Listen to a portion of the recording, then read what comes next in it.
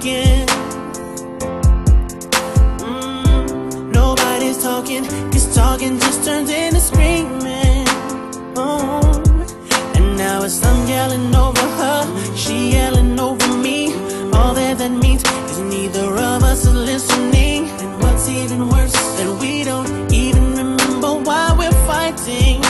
So both of us are mad.